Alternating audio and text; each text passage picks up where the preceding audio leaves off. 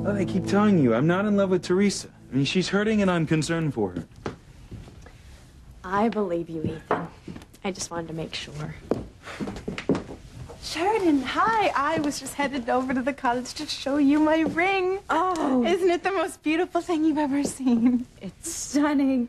I'm so happy for you both. Oh, thank you. I just can't wait to tell Ethan's parents our news. Ivy and Julian still don't know you're engaged? No. Hmm? They went out. Neither one of them left a number that where they could be reached. Won't they be surprised when they get home? Mother will jump for joy, and father. Uh, Julian will be checking the tax advantages on you and Gwen, filing joint returns. My unromantic brother aside, I know you two are going to have a happy and long marriage. you bet we are. We're not going to end up like my parents bickering all the time. I want to toast the happy couple. Ethan, would you please go get some champagne? Hmm. The best in father's wine cellar.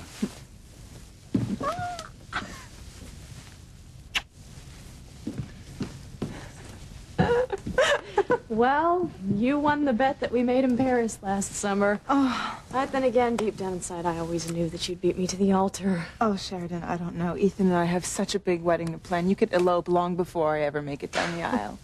Need to find a man to marry first. what about Luis? Oh, Gwen.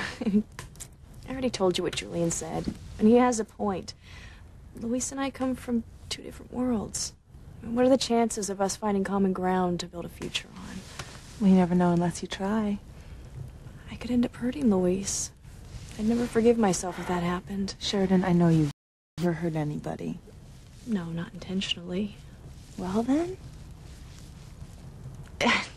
Luis takes things so seriously. I mean, if things didn't work out between us, And what if they did?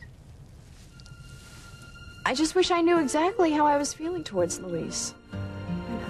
I really don't even know how he feels towards me either.